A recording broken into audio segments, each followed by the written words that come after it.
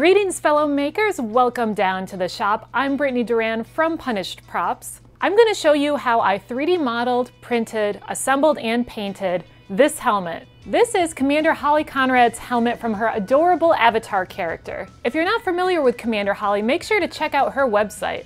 She loves video games, cosplay, birds, especially birbs, and making awesome art. We had a chat with Holly this summer about potentially fabricating her character's helmet someday. What she didn't know is that we went home and started building it. We showed her the finished pictures yesterday and she's pretty excited. This is a Prop 3D video, so I'm gonna go straight into how I modeled and printed this helmet. For this project, I finally got to learn the basics of the 3D modeling program Fusion 360. Autodesk Design Academy released a great modeling tutorial for a basic helmet design. I highly recommend following along with that video series to learn the basics of sculpting in Fusion 360. Something neat I got to use in this build is a 3D body scan I got when I was at Rose City Comic Con. Once scaled correctly, I can build armor on my form and have it print at the correct size.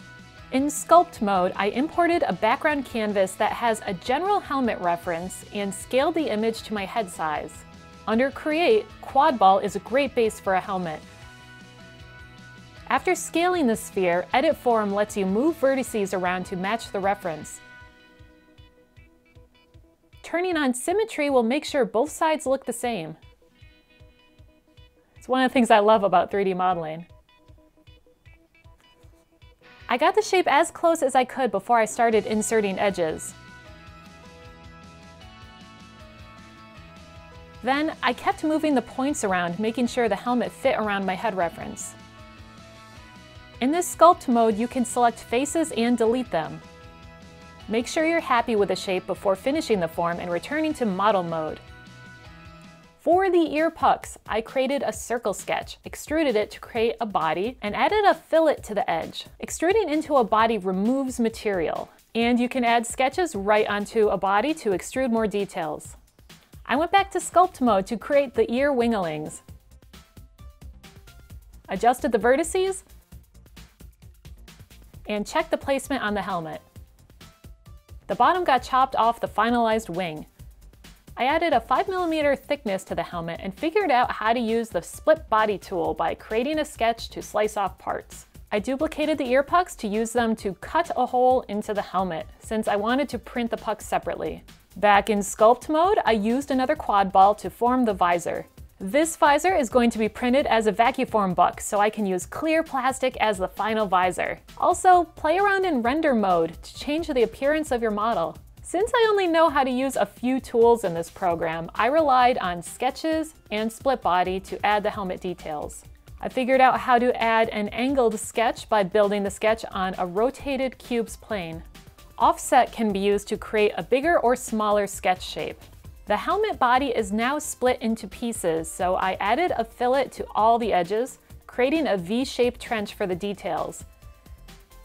This seemed like a good match for the triangular needle file I'll be using to clean up the print. Another sketch and split body tool were used for the H symbol with added fillets and all the helmet bodies were combined back together. I used a copy of the wing to cut a hole in the ear puck and used the same method for the puck to slot into the helmet. This helmet is too big for my print bed, so I used split bodies to cut it into pieces that will print with little to no support material. I duplicated the visor and scaled it flat to create a loft for the visor buck. Both of our printers were utilized for this build, the Dremel Idea Builder and the Ultimaker 2, with the slicing program Simplify 3D and PLA Filament. Printing vertically greatly reduced the print times. Some of the pieces are flipped upside down, so there's no overhangs where the ear pucks will attach. Meanwhile, the visor printed, with support material on the inside. The model is only 3 millimeters thick, but it printed really well. And the visor fits perfectly on top of the buck. I was worried about printing the wings vertically since they're so thin. I'll just have to clean off the supports later. The wing sockets are cleaned out with sandpaper. These are going to be finished separately and glued together after painting. I started taping the helmet pieces together to check the fit and order of assembly. Also checking the visor size. Oops. These ear pucks need to be socketed into one layer of the helmet at a time. There are several steps in the 3D modeling and printing process where I probably made mistakes, so test fitting everything is super important.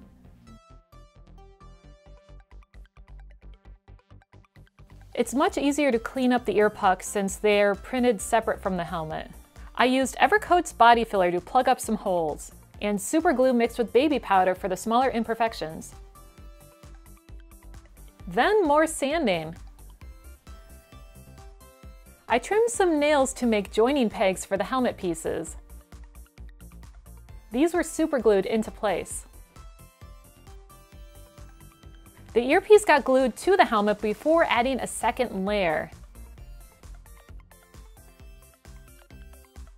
These metal pegs were alright, but I don't think I'd use this method again. Misaligning the attachments a little bit results in a lot of body filler cleanup later.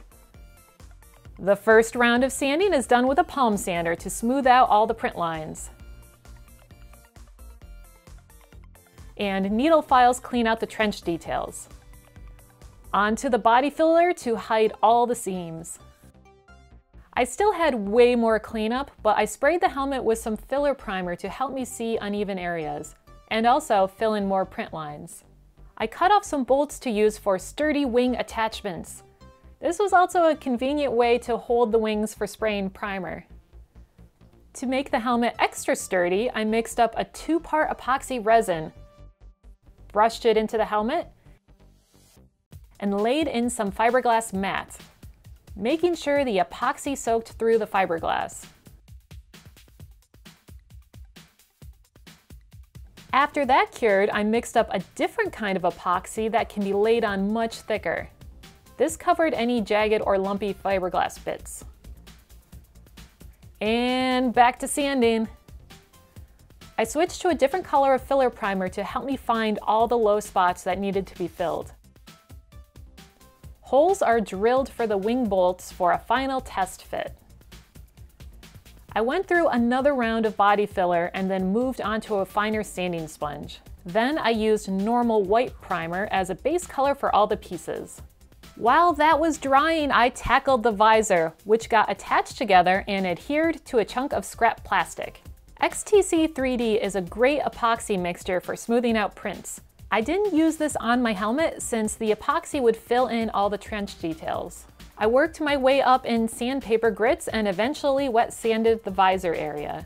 We've tried vacuum forming straight on 3D printed bucks before and the heat of the plastic warps the prints. So I wanted to mold this in a sturdier material. For this mold, I used alginate, which is a one-time use mold mixed straight into water.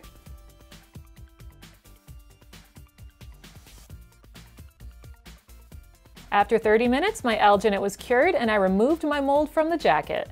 In the past, we've used a plaster called Hydrocal, which works great for vacuum forming. All I had laying around was an old container of plaster of Paris, which I hadn't worked with before. What could go wrong? Alginate starts to leak water, but I still let the mold sit overnight, then pulled out a pretty decent casting. I did have to wait a whole week for the plaster to fully dry out. For the visor, we used PETG plastic with one side of the protective covering peeled off. This larger oven and vacuform setup are borrowed from our buddy Eric at Core Geek Creations. It took a couple of tries. We got the plastic way too hot in the oven on one of them, but we finally got a successful pull. My buck design wasn't the best. It was pretty hard to free the visor, so Bill just cut the plastic free. And then this happened. Oh, the buck is destroyed. So, Let's hope it worked. Turns out if you overheat plaster of Paris, which we did on some of the previous Vacuform pulls, the plaster will start to turn back into dust. I should have used Hydrocal. Fortunately, the protective layer peeled away the plaster bits. I finished trimming away the edges and test fit the visor. It's not perfect, but it's all we have. You can dye PETG plastic with polyester fabric dyes. Again, we have a more detailed video on this process linked below. A large pot of water is heated to 140 degrees and I mixed in two packs of iDye Poly Turquoise.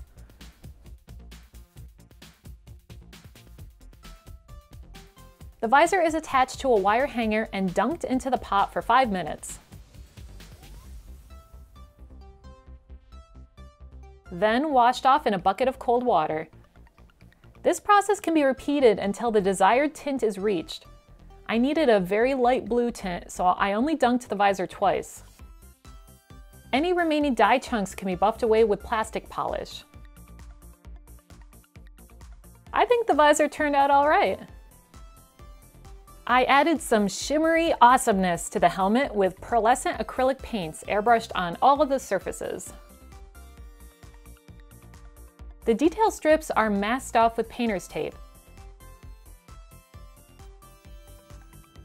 The areas getting blue paint are carefully trimmed apart with a sharp X-Acto knife, then peeled away. Everything else got covered with tape. I mixed up the darker blue used on the helmet strips and outer earrings. Two layers of blue were airbrushed on, then let dry before removing the tape.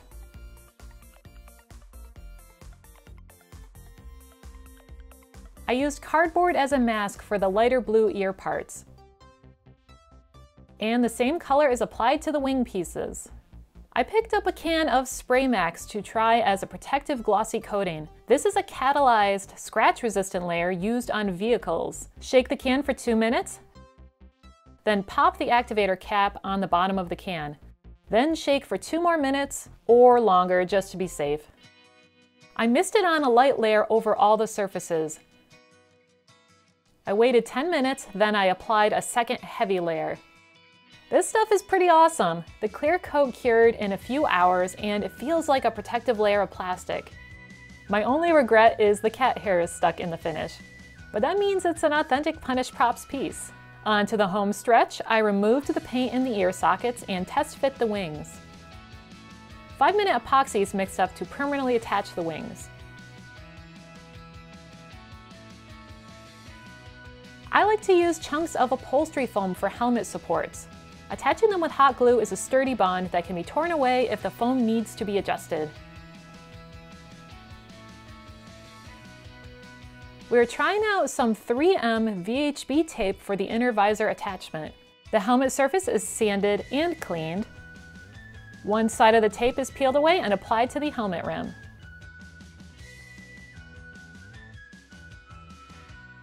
The visor edge got roughed up and tacked in place. A strip of gray craft foam is hot glued over the visor edge, completing the sandwich. And that's the whole build.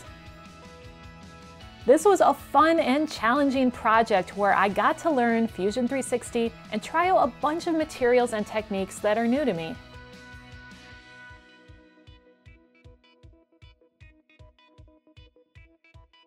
Thank you so much for watching. I hope you liked the build and the finished helmet. We're shipping this off to Holly soon, so it's gonna go to a good home. We have more detailed videos on some of the techniques used in this build that I'll link down below. And we've got tons of cool projects going on. Make sure to subscribe so you don't miss them. Also, check out Commander Holly's channel to see cool video game playthroughs and other shenanigans. Now go out there and 3D model something. Do it, right now. I'll wait right here. See you later.